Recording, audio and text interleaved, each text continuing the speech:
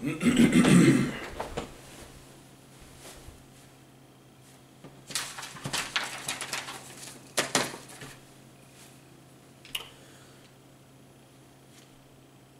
you, Dusty Cat. This just in! Scootaloo is actually a penguin! Unreliable sources have confirmed that Ponyville resident, flag waver, and Rainbow Dash restraining order haver, Scootaloo is not a Pegasus pony, but a flightless bird known for its swimming ability and tastiness to killer whales. While many in Ponyville were convinced that Scootaloo was a chicken, scientific tests and hitting Scootaloo with a stick confirmed that she was not, in fact, a chicken.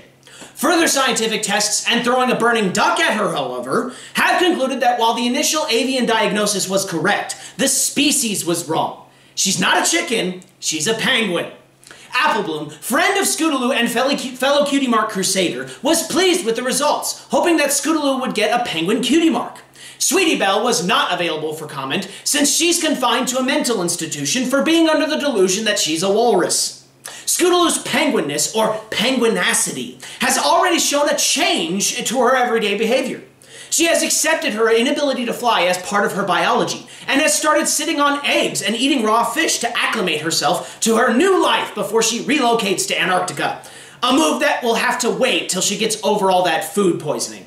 Sadly, Fluttershy has since proven that Scootaloo is not a penguin and prevented EQI scientists from getting anywhere near her ducks. Fluttershy's scientific revelation of looking at her proved that Scootaloo is not a penguin. She's a jackalope. I'm Joe Stevens, and this has been a news brief from the Equestria Inquirer. Back to you, Dusty Cat.